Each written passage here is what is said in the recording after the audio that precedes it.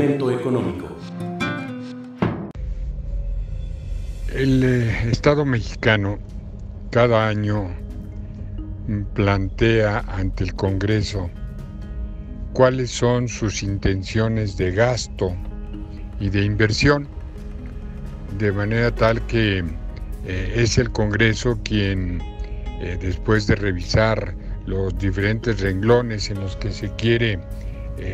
llevar a cabo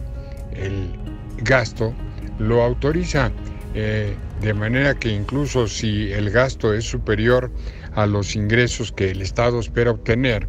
eh, pues también queda definido de cuánto será el llamado déficit, es decir, cuánto va a faltar, de manera tal que eh, se pueda también definir eh, cómo se va a cubrir ese faltante, si con deuda interna o con deuda externa. El, presupuesto de egresos entonces se convierte, una vez que el Congreso lo autoriza, en la ley de egresos de la federación. Y eh, es eh, obligatorio cumplir, cumplir con lo que el Congreso está autorizando.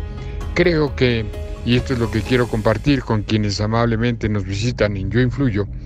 creo que el leer, el analizar con detalle eh, cuáles van a ser los renglones, primero que propone el gobierno de Andrés Manuel López Obrador, y en segundo lugar que autorice el Congreso, serán una, eh, un indicativo claro, claro, transparente de cómo piensa el nuevo gobierno realmente plasmar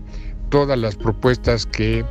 ha venido formulando desde que se estaba en el proceso de elección. Hasta el próximo momento económico para Yo Influyo, José de Jesús Arturo de Alba Monroy. Momento económico.